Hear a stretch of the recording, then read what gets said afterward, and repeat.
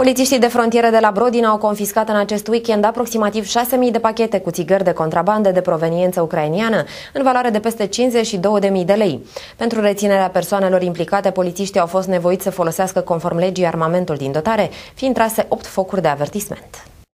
Polițiștii de frontieră de la Brodin au observat în apropierea frontierei de stat cu Ucraina două autoturisme și mai multe persoane care nu își justificau prezența în zonă. S-a procedat la somarea prin voce a celor în cauză, însă suspecții s-au urcat în una dintre mașini și au demarat în trombă. Dată fiind situația, polițiștii au fost nevoiți să folosească armamentul din dotare, fiind trase opt focuri de avertisment, patru în plan vertical și patru la nivelul pneurilor. În cel de-al doilea autoturism au fost descoperite mai multe colete ce conțineau cantitatea de 5989 de pachete cu țigări de proveniență ucraineană. În prezent se efectuează cercetări în vederea identificării tuturor persoanelor implicate și a documentării întregii activități infracționale.